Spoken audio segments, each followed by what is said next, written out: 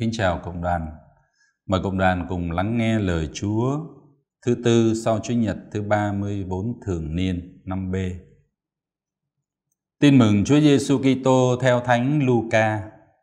Khi ấy, Đức Giêsu nói với các môn đệ rằng: Người ta sẽ tra tay bắt và ngược đãi anh em, nộp anh em cho các hội đường và bỏ tù điều anh em đến trước mặt vua chúa quan quyền vì danh thầy, đó sẽ là cơ hội để anh em làm chứng cho thầy.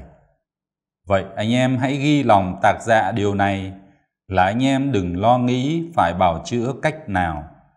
Vì chính thầy sẽ cho anh em ăn nói thật khôn ngoan, khiến tất cả địch thủ của anh em không tài nào chống chọi hay cãi lại được. Anh em sẽ bị chính cha mẹ anh chị em, bà con và bạn hữu bắt nộp. Họ sẽ giết một số người trong anh em. Vì danh Thầy, anh em sẽ bị mọi người thù ghét. Nhưng dù một sợi tóc trên đầu anh em cũng không bị mất đâu. Có kiên trì, anh em mới giữ được mạng sống mình. Kính thưa công đoàn, Tin mừng hôm nay, Chúa Giêsu báo trước cho các môn đệ biết số phận của các ngài. Người ta sẽ tra tay bắt và ngược đãi anh em, bỏ tù, điều anh em đến trước mặt vua chúa quan quyền vì danh Thầy. Mặc dù vậy, các môn đệ đã không thoái lui vì sợ sệt, nhưng các ngài vẫn đi theo Chúa, đồng nghĩa với việc sẽ bị bách hại và bị giết chết. Hẳn đây không phải là sức riêng của các môn đệ, mà là ơn Chúa ban cho các ngài, vì Chúa đã khẳng định chính Thầy sẽ cho anh em ăn nói thật khôn ngoan, khiến tất cả địch thù của anh em không tài nào chống chọi hay cãi lại được.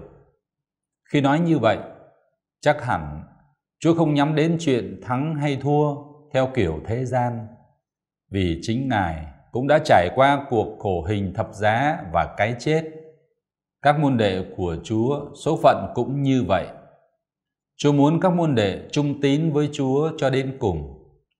Có một điều xem ra nghịch lý khi Chúa nói anh em sẽ bị chính cha mẹ, anh chị em, bà con và bạn hữu bắt nộp. Vì danh Thầy, anh em sẽ bị mọi người thù ghét. Tại sao trong một gia đình và giữa những người thân thuộc lại có sự chia rẽ, thù ghét và loại trừ. Đó là vì họ không sống vì danh Chúa. Có thể họ theo một thứ danh nào đó thuộc về thế gian, đối nghịch với danh Chúa.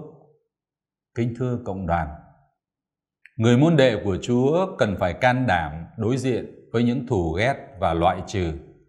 Có thể đến từ những người thân trong gia đình, nhưng Chúa lại cần và đòi hỏi người môn đệ kiên trì và tín chung với Chúa.